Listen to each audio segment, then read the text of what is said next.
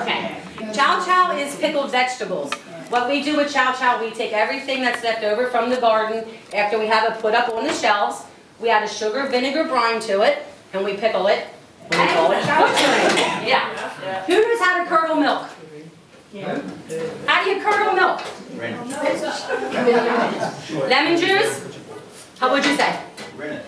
Rennet. That's how you curdle milk. That's how they curdled milk back in the day. What they did is they took a calf, a dead calf, and they put the milk in the calf's stomach. And the rennet, which is the gastrical juices from the calf's stomach, curdled the milk. So every day they went out to the calf. Everybody heard of curds and whey, right? Okay. They got the dead milk, or the...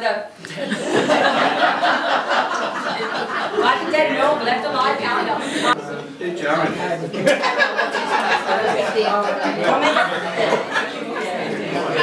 You all right?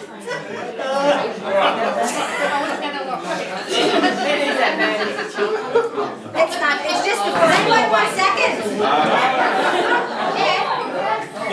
Do you want seconds? Look at this guy, huh? You did the math on that, right? Okay, per- I'm moving out of the way, just in case.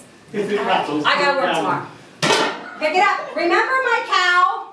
Yeah. This is his foot. Okay?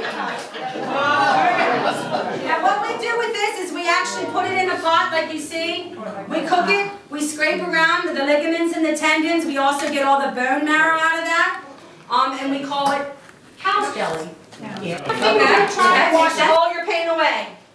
This was alive a few weeks ago. Okay, this is actually from a birch tree. Has anybody ever heard of root beer? Yes. Sarsaparilla? Well, it's neither one of them. Birch tree, birch beer.